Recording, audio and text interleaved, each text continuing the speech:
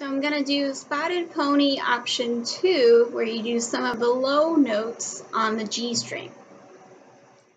One, two, ready, go.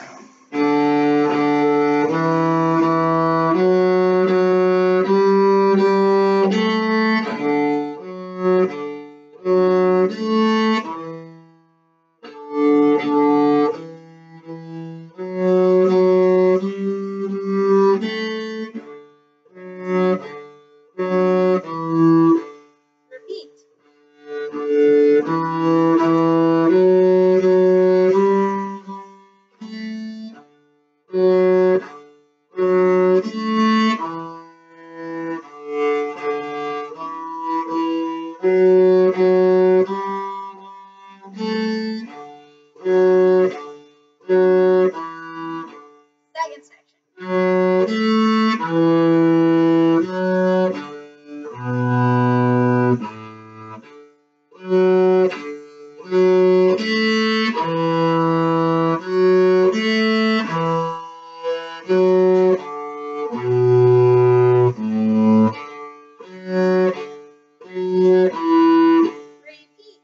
There we go.